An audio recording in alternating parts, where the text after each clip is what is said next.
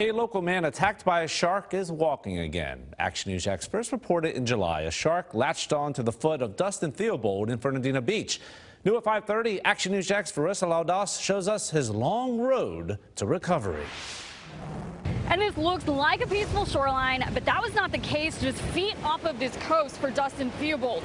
He felt a pull on his foot, and what happened next left a trail of blood up this beach right over there with the, you see the umbrellas and everything. Dustin Theobald showed us where a shark clamped down on his foot, ripping his tendons and landing him in this hospital bed. His wound was so graphic, we had to blur it. I'm not the type of person that's used to asking people for help. So it was a big transition. But that transition is almost over. And two months later, this is Theobald's foot now. He did great. The Dr. Barnuti, he was amazing. I left him a great Google review and everything. This is the first week Theobald returned to work full time, even delegating some of his tasks to his son. He spent the past three weeks in rehab at Jacksonville Orthopedic Institute, doing one leg stands and the elliptical. We're starting to move up to the next level now.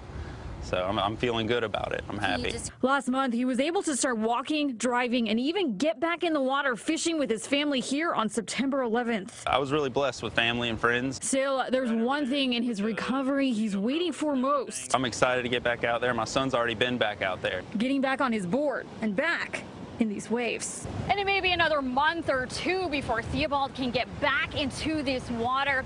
But I will be posting updates on that on my Twitter at Varissa and Jax. You can also find updates on the Action News Jax website. Reporting from Fernandina Beach, Varissa Laudas, CBS 47, Action News Jax.